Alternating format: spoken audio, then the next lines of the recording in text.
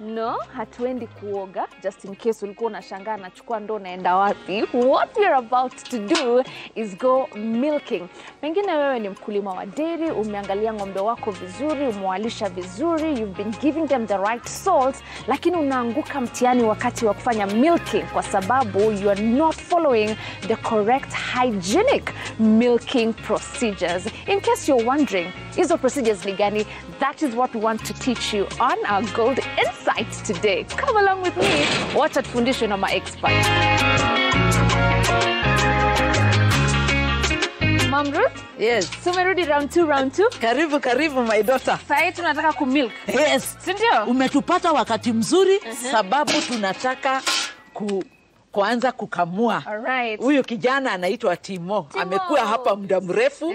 Eh, ni kijana wangu. Sawa. Yes. Yeye ndo atatuonesha kumilk. Kumilk. Naona alikuwa ready anataka kuanza. Eh, anataka kuanza ndio anaita ng'ombe waingie. Sawa. Ndio aanze kukamua. wacha aanze kuwaita si Yes. tupige story kidogo alafu tutamjoin si Ndio, ndio, ndio. Alright. Sasa Eh. mam tumekuja kwa sababu tunataka kuelewa ile tunaita correct hygienic milking procedures Ah, ni gani Eh. tuambie Sasa ukianza kukamua, unaanza vizuri kuosha mkono, unalete mandoo na kitambaa safi, alafu una nawa mkono vizuri mm -hmm. na usikue pia na kucha refu, mm -hmm. sababu in, zinaweza kulete bakteria ama germs kwa ile maziwa unakamua. Mm -hmm. Sasa huwa tunatumia hii uh, ma, mafuta ya Ultravetis.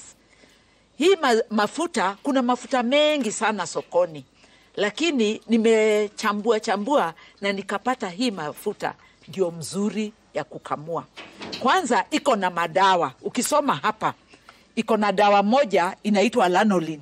Hii lanolin kwa kiwele husaidia sababu inafanya, inafanya kiwele kikuwe soft. Namba two, kuna hii dawa sijui, hebu nisomee. kuna dawa hapa inaitwa diclorofen na hapa chini with, la, with lanolin as an emollient Ah, good. Mm -hmm. Sasa hivyo ni kumaanisha iko na dawa ya kuzuia bacteria, mm -hmm. iko na hiyo mafuta ya kufanya kiwele kikuwe soft. Right. Sawa sawa. mm -hmm. Pia ukif, ukifungua hii mafuta iko na harufu nzuri yenye hata inazuia inzi. hata unasikia ni kama ile ile bacterial hizo liquids Eh. smell inakwanga nayo Eh, aha. Ndio hii mazi, mafuta ndio poa kabisa kwa kukamua. wewe unatumia hii mafuta ya Ultravetis milking salve Yes. na pengine kabla uanze kutumia ulikuwa tu unatumia mafuta ingine ya kawaida inapatikana kwa soko Ndio. unaweza tuambia tofauti yenye unasikia ukitumia hii hata ukiipaka kwa mkono ukiipaka kwa ng'ombe tofauti iko wapi Number one, ukizo, ukizoea kutumia haya ma, mafuta hata mikono yako itakuwa milaini. Yaani unapoenda kustrip ama kukamua ng'ombe hata stuka sababu mikono yako ni migumu mm. eh? ama iko na imechimbuka chumbuka. mm. Namba two, hii mafuta huwa eh, wakati unaiweka kwa ng'ombe, kiwele cha ng'ombe kinalainika alafu unaweza kutumia mafuta zingine kumbe hazina dawa ndani yake mm. kwa hivyo ng'ombe aweze kupata magonjwa usijue sasa wakati wa kutoa maziwa ng'ombe anapata mastitis Mm. nataka kuelewa jinsi nitatumia hii mafuta bila kuwaste kwa sababu saa zingine unaweza chota umechota mingi alafu ukapakilia tu kwa chuma mahali ukaweka hapo tena nirudi jioni ni, niendelee na ile niliacha hapo hapana kwanza exposure ya mafuta inaleta bakteria kwa ng'ombe Mm. kwa hivyo unachukua ile kiasi tu kile kiasi kitaweza tumika kwa ng'ombe.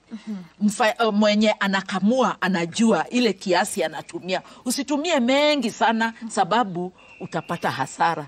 Pia usitumie mengi sana sababu ita encourage bakteria kwa sababu ya uchafu. Yes. unaona hata wewe ukijipaka mafuta mingi si unapata uchafu? Eh, eh, dust. Eh, kwa hivyo unatumia ile ki, kiasi inayofaa. Sawa sawa? Mm -hmm. eh. We promised you that we are going to teach you about the correct hygienic milking procedures and we have learned all that and more. Na ukumbuke mafuta mazuri ya kutumia ni Ultravetis milking sow. Dairy farmers kimbieni kwa duka basi